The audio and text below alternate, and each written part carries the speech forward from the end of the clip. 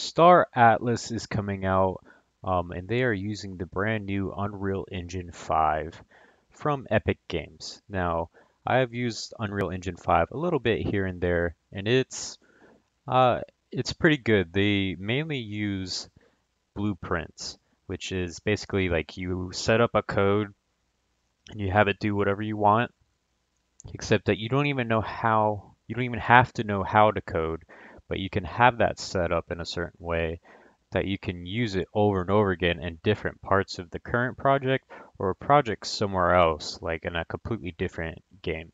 Super useful tool.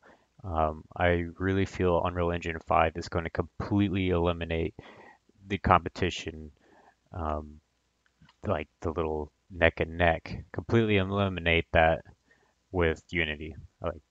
Unreal's just going to blow it out of the water, especially lately since Unity is going really ad heavy and just it's not developer focused anymore. I don't know. It's just completely different. Now, when I first started doing gaming stuff, Unity was like the one everybody said, hey, that's the one that you should choose. But I think Unreal's really stepping it up here, and I'm glad that I'm able to uh, to just look at some of the stuff that's coming out. So Star Atlas is uh, the showroom is the only thing we're able to see right now. It's going to be many, many years before this is fully developed, just like a lot of uh, really heavy games. But the showroom itself is 10 gigs, so I'm a little worried about what a full-size game is going to be because while it is a lot of detail, it's not even close to finished. Like just the showroom itself, the ships and stuff. And I'm going to show you it, but it's just I'm really worried about how big this game is going to be. Now you will need to make a wallet. So this is crypto orientated. Um, I actually ended up making two wallets. I made one for the game specifically just in case, and then I made a Phantom wallet, which is what everybody recommends that you do. Um, you will want to probably download Phantom app on your phone, um, but more than anything, you'll you'll want to open up your browser and download a uh, Phantom wallet uh, widget. I think is what it's called. But yeah, so the ship data for your character is going to be located in the wallet that you make. Now, as we're loading in, the first thing you're going to notice is it is slow. It's pretty, but it's it's just slow. Um, it's got a lot of motion blur. Like I can look around and I feel like that makes it even worse. Now that is one of the biggest complaints any gamer is going to have, especially people who are testing this, is that the motion blur is just ridiculous. Which is going to technically bring me into my next problem, is the option menu really doesn't have a whole lot of options, especially considering that it's like like the lowest setting is high, but like especially considering that this is a showroom or a, a player's first chance at looking at the game, not having really a whole lot of options. And I'm gonna let you in on a secret for development, um, especially in Unreal Engine, is there's plenty of options to be able to edit. Um, like just like any other game, it, like there's there's trust me, there's plenty of room for editing. Um, not having the options in there is not good, especially not being able to turn off motion blur. I think that's just dumb. All right, but a lot of people are not going to be able to load into this uh, just because the graphics are so heavy. It's quiet. It's got good surround sound. Um, this this character was definitely made in third person. Uh, you can scroll the wheel to make it go into first person, but uh, the design of the character itself was definitely initially made for a third person game.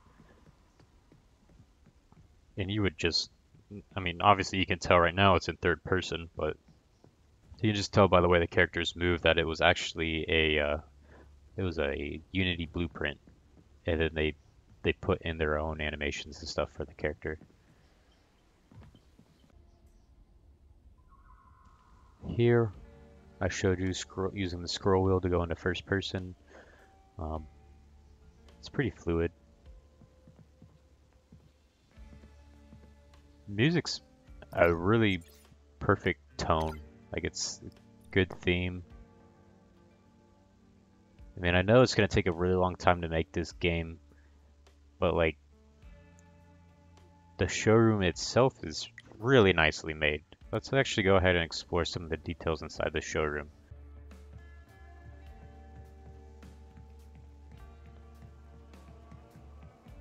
The foot sound effects are good. Reflections are pretty dope. The loading screen's pretty good.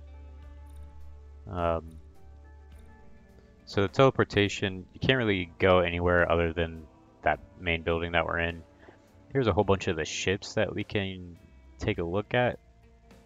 Um, I believe they're all purchasable, but they are far from uh, accomplished. Now these ships look really good. If I'm not mistaken, um, after looking into them, I believe they're all made in Blender, uh, which is very reputable source. Yeah, these are uh, beautiful.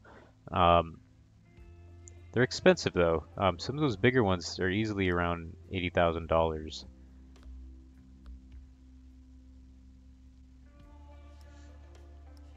Which I don't know how really anybody's gonna afford that except like I guess like the top people of a guild or a clan. At like the top of all of them. Alright, so um, I was sent a couple of ships to check out. But let's go ahead and take a look at this one. Okay, so we can walk through some of the walls still.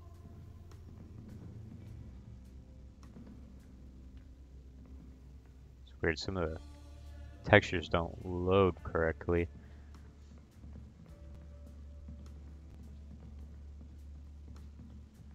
Feels very lonely out here too.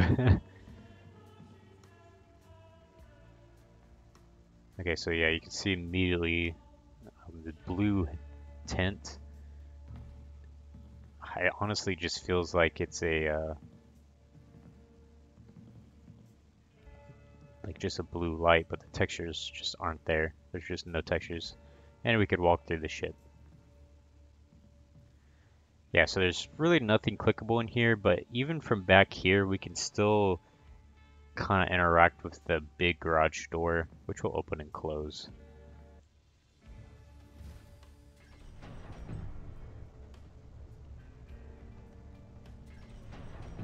So I imagine that just means that when we are able to finally fly, which remember this is a showroom, we can't do anything. But even as a showroom, I'm a little disappointed that we can't actually see these ships or how we even interact with them. Anyways, so I spent a good amount of time trying to uh, basically glitch the game or do anything weird with the game. Um, I think the game is just so unfinished that it's not even really glitchable. Like it's just objects. Like there's so little that you can interact with and do that uh, glitching it really really isn't possible. Now there is a height ceiling, so you can't really go much higher than the building, um, and you could test that with the camera. Uh, there's a lot of weird object boxes that you can't jump up into. Like you can't jump in here unless you're on the sidewalk. Let's let's look around. Here's the limit of your horizon. Got a little green barrier. It's not like a crappy barrier either. It's like a like a digital glitch barrier, which is kind of cool. Like they definitely spent a lot of energy on the detail, but curious if they really like I'm curious if they just had one developer locked into this room and that's all he was allowed to do was touch this area because that, that's how I would would be like if I was just let's say I was making a Minecraft server and I was told to make the spawn and that's it, bro, I'd have that spawn decked out. But that doesn't necessarily mean the rest of the world's going to be good. That just means that the initial showroom is going to be awesome because that's all I was allowed to work on. you know what I mean? So this is the train.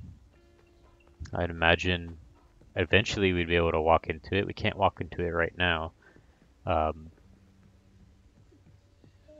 it probably transport us into the city or something. I'm not really sure yet. Now we do have a little sample of what the plant systems are going to look like, which is very unique. Um, I'm curious of what the uh, uh, like the mobs or the AI system is going to look like. I would love to know kind of kind of creatures we'll be fighting or if this is just strictly going to be an investment-based game, which would be kind of disappointing because I I want to fly. You know what I mean? Like I need more depth than just hey, this ship is worth however much, um, and there's only a limited number. So if you have it, then hey, you can sell it and make more money. Now I want I want that ship to actually mean something other than its worth. Like but if it comes to the point where, hey, you can lose an $80,000 ship by crashing it into the next planet, that's kind of fucked up. So I am trying to kind of glitch the game here. Um, I do a few things, like I try to jump in between the sliding part and the wall to see if it would crush me, uh, but it just kind of like, it doesn't work. It just kind of pushes me out of the way. So as for glitching it, doesn't really work. But there is some stuff on the ceiling, on the roof, and the only way I've been able to really find a way to get to it easily by walking up the tallest one of uh, these door to panel things.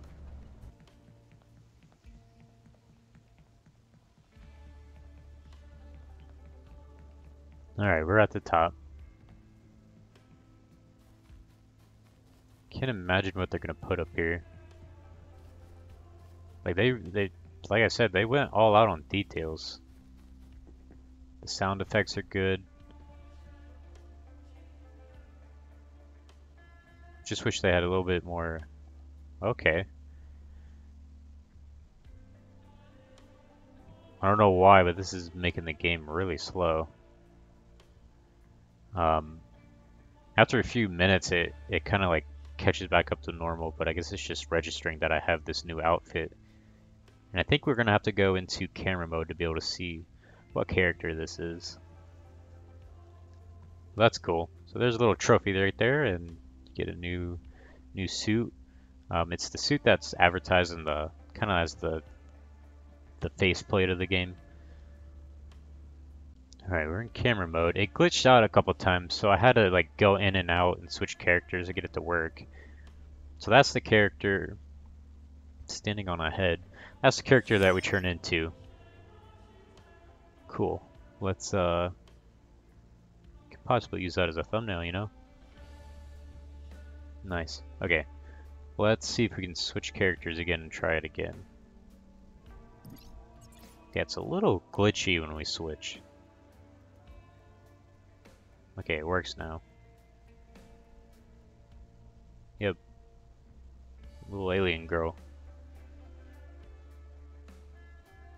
I don't think we're always her, but if she, if if we are, she's got a nice ass. I don't know the purpose of having the light behind your head, though. Like, we're not going to be able to see anything back there. Anyway, so there's really not much else that we can look at, and there's currently a blub, a blug, wow, yeah, I was going to say glitch and bug at the same time. There's currently a weird issue where when you're trying to load in, um, it's like one of the Solana Solana nodes aren't readable or there's too many requests or something. Either way, it's failing us. So we're going to have to go to this online showroom, which basically is just um, you connect your wallet using the widget thing in your in your menu, and uh, it's like a little platform and you have your vehicles on. Um, and thanks to my sponsor, Tim, thank you so much. But thanks to Tim, we are able to see um, three of these vehicles in the game. So this is the Fimbul air bike. It's a classified as an extra extra small vehicle. Clearly, I can't see two people being able to ride this, but this is definitely a good way to get around. Um, it looks good. I, it looks strictly like a like a fast transport vehicle. It doesn't seem to have any guns on it. Um, yeah, it looks like it's just all power. I mean, it does technically say it's a racer, so uh, I'm not surprised by that. Let's let's take a look at the other vehicle. Here we have the the Opal Jet. It's definitely much bigger. It's guess it's classified as a racer as well. Um, though it doesn't look like a racer, I guess. It's kind of like a praying mantis. Like a yellow praying mantis. Now I'm using the the the Fimbul air bike to be able to look closer to the opal because it, you just can't zoom in. Like it won't let you zoom in much farther. Um, but yeah, the, just the texture work looks really good. Like it looks like if they put this much work into the the whole game, like the game as a whole, it would be amazing. I just hope it doesn't actually take like seven more years. That would suck. I want to play, man. I want to shoot people down. Get some get some rocks. You know, if it's strictly PvP based, I'm gonna be a little disappointed. People, you know, hacking and um, here's the Pearce X4 by the way. People hacking. It looks like it has two guns on the bottom too.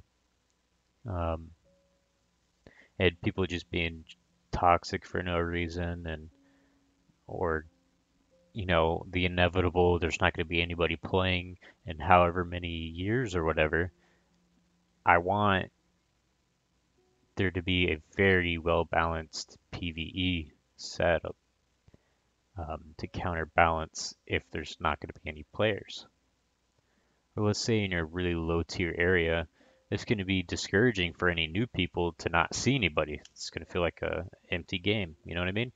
So it definitely needs to make sure it has a balance of um, environment in there. Because as we saw in the showroom, it's just a showroom. I mean, is that what the whole game is going to be like? If there's no people, it's just going to be empty?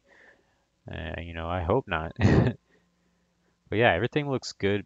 And the other thing reason that I say it looks like it was made in Blender is if we zoom in super close on these vehicles, we could see that they're actually not super detailed. It's the way that uh, like the sheen on it. Um, so they're called the diffusion map, the albedo map, um, which I believe those are actually the same map pretty much. The metallic map and the uh, um, roughness map. The maps and the texture maps themselves honestly make or break the way something looks. And I think that's what's happening here. I think the the actual maps themselves are what's making it look like it's super detailed, but if you zoom in, you kind of see that it's not actually the way I see it, these were made super big in Blender and then made super tiny um, when they were transported into the game.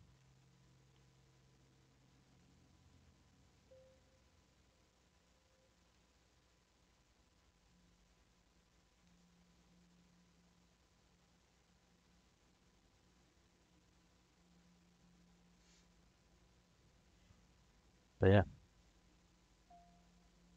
So I don't know. It's up in the air.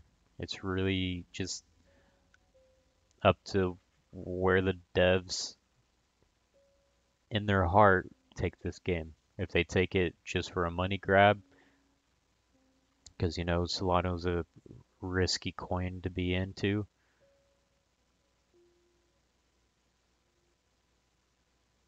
Or if they they want this to be a legitimate game. But yeah, you can see how weak the details are when you're actually zoomed in. Let's take a look at some of these ships in the marketplace. It's just crazy to think that this is a hundred thousand dollar ship. You know how few, how many people have a hundred thousand dollar cars? Not a whole lot of people. The fact that anybody can has that amount of money to be able to spend in the game, like, dude, I just fucking sponsor me, man. Like, hell. So we have the option between these three factions to choose. And originally I kind of wanted to choose ONI. Um, it, I wanted the stealth capabilities because I typically play, I uh, avoid people, try to do my own thing, but it's not very well supported. Like the highest asset value that our top member ha would have in ONI is 833. Um, just not much. Both of the other two factions have twice as much as that. Which means their ships are just much, much better, which in the long run is, is like very noticeable. So there's between, um, what was it, Ustur and Mud. And I was liking Mud or was liking Ustur next. Uh, but the the team itself doesn't seem to have a whole lot of high valued assets. So I I just went ahead and clicked on Mud and tried that one out. Of course, you're not technically locked into Mud. You could switch. Um, you just make another wallet and switch teams, or just choose a different team. You'll be good.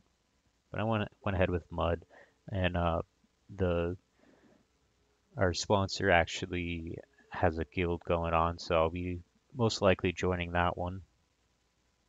And we're gonna try to have everybody's uh, faction into it, which makes absolute sense. You know, you kind of want the pros and cons of everybody joined together to make a balanced team. But yeah, it's crazy. This dude's got a two million dollar net worth, and uh, we're talking USD. Like, I, I, I don't even. Uh, the game's not even a game yet. I, I don't even. I don't even know. All right, I'm out.